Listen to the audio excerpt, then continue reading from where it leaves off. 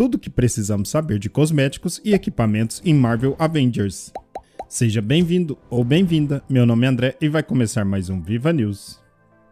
Pessoal, a Crystal Dynamics descreveu como os cosméticos, challenge cards e outros itens que funcionarão em Marvel Avengers quando for lançado. Marvel Avengers apresentará um sistema em estilo Battle Pass, mas apenas para itens cosméticos, e no site oficial a Crystal Dynamics descreveu como isso vai funcionar. Galera, os conteúdos que podem ser comprados com dinheiro real no jogo será acréscimos apenas estéticos, que o estúdio diz que ajudará a manter o jogo atualizado por muitos anos.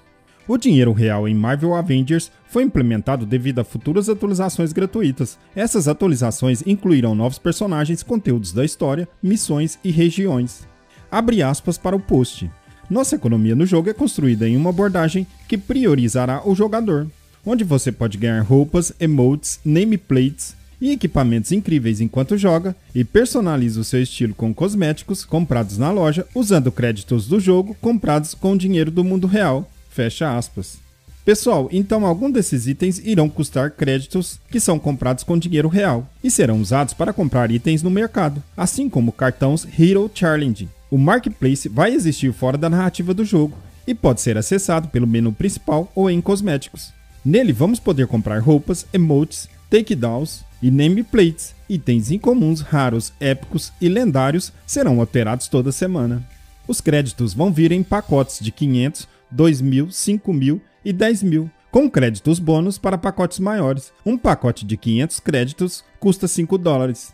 O cartão Hero Challenge para os heróis pós-lançamento custarão mil créditos, o que será 10 dólares por cada cartão de herói. Esses cartões vai permitir ganhar recursos, unidades, créditos e cosméticos ao completar os desafios do jogo.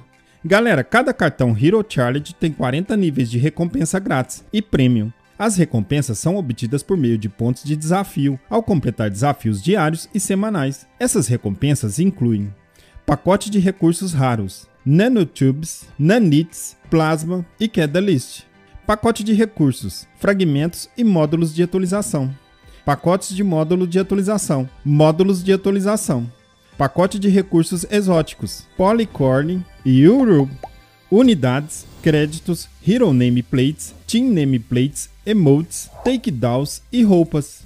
As recompensas do cartão Hero Challenge Premium para os seis heróis iniciais serão desbloqueados gratuitamente no lançamento e terão 40 níveis. Após ativar as recompensas prêmio do cartão Hero Challenge, podemos ganhar mais créditos. Se completar todos os desafios em seu cartão Hero Challenge, vai receber de volta mil créditos. E todo o conteúdo que ganhar tem o um valor de mais de 12.500 créditos.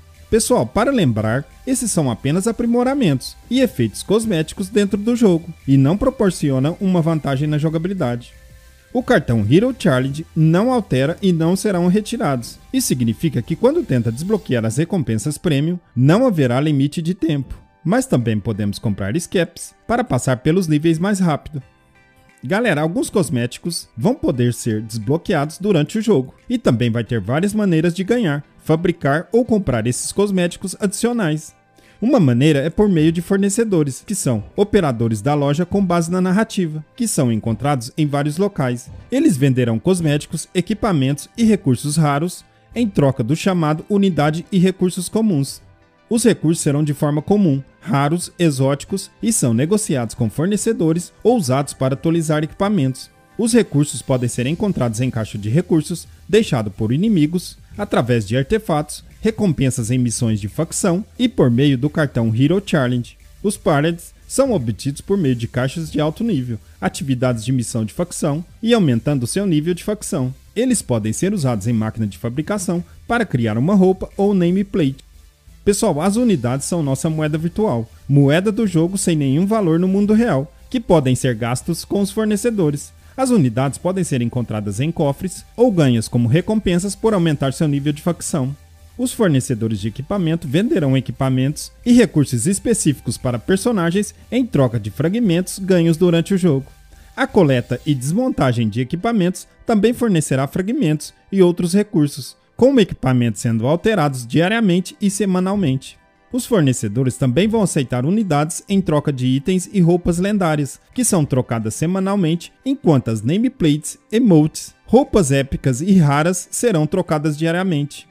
Pessoal, falta pouco tempo para ver tudo isso em ação, pois Marvel Avengers será lançado em 4 de setembro para PC, PlayStation 4, Stadia e Xbox One.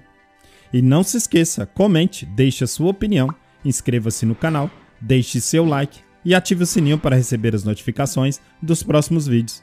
Então é isso aí, pessoal. Mais um Viva News vai ficando por aqui. Um grande abraço a todos e até a próxima.